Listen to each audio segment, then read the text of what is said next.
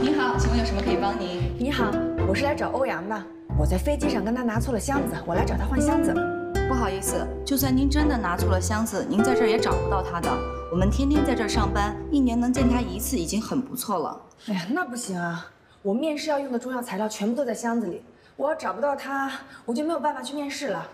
你们看这样行不行？你们给我一个欧阳的电话，或者他保镖的也可以。他保镖之前给了我一个电话，但是不好意思被我给弄丢了，叫什么来着？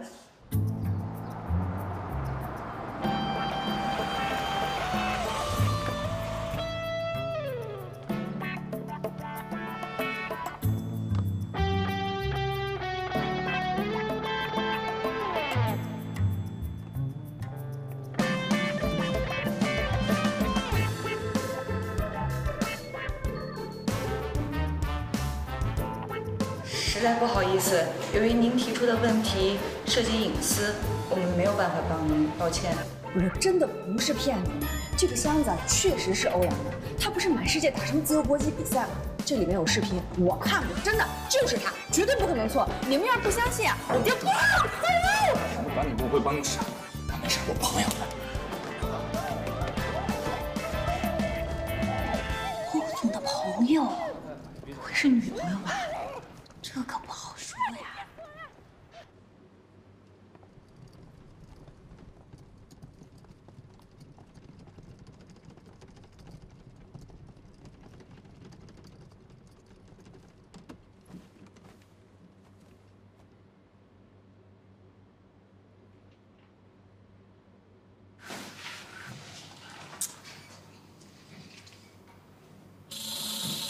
旁边，干嘛？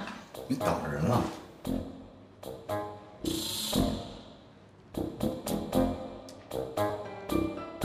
哎，你刚才在公司前台嚷嚷什么呢？你看着我什么视频？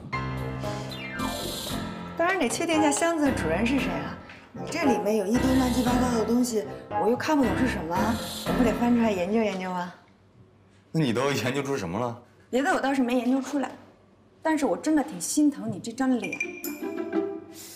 你说你长得吧，人模狗样的，不难看，被人家左一拳右一拳，左一脚右一脚的，脸都肿成那样了，我真觉得你挺想不开的。你为什么呀？你今年几岁啊？二三，二十年相濡以沫，三岁就开始谈恋爱，可以啊，够早熟的啊。你看我日记，林美雅是吧？我告诉你啊，如果你敢把我比赛的视频泄露出去，你的照片、你的日记，还有你所有的秘密，我都会毫无保留的放在网上。你不用花一分钱宣传费，绝对上热搜。哎，包括你那个陈哲，哎，我就纳了闷了，你那陈哲就在我们公司上班呢，销售部经理啊，你不直接找他去，你老前台嚷什么呀？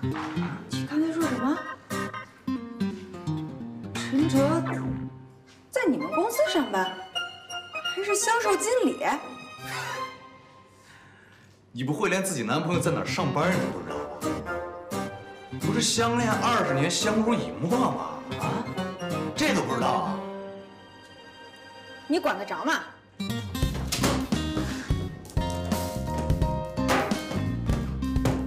一手交箱，一手交箱，来，我箱子拿来。没看见我的箱子呢。我不得先检查一下你找不找东西啊？拿拿，拿开！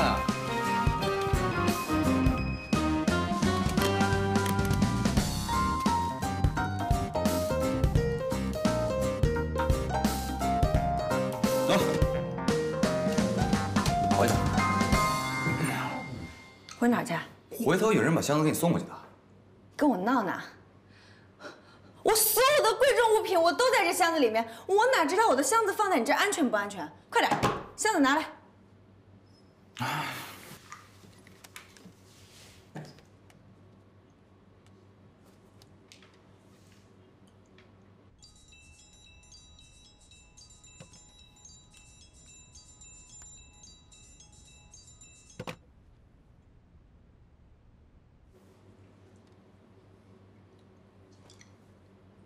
你那箱子呢？现在应该是在我家啊，但是我现在还真给不了你。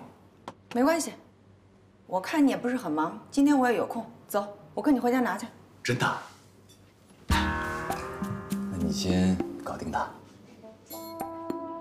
哎，你今天要是能带我离开这儿，我以后就跟你混了。欧总今天哪儿也去不了，全天必须在这上班。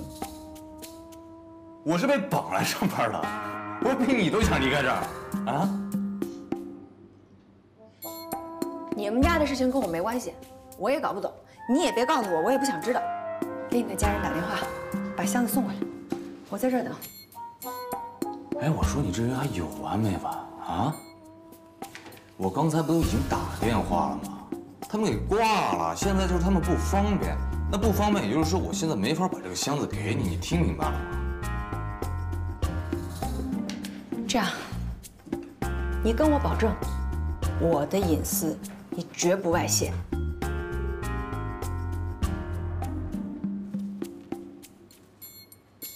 以防万一，咱们录个视频，留个证据。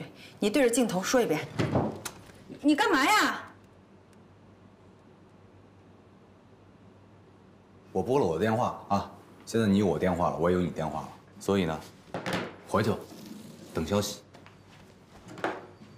我凭什么相信你？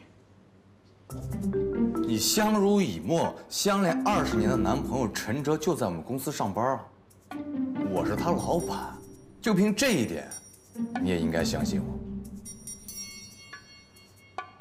你是他老板怎么了？我告诉你，我们家陈哲他很优秀的，你不要觉得你是他的老板，你就可以威胁我。不开心我们可以不干，我们可以换工作，你明白吗？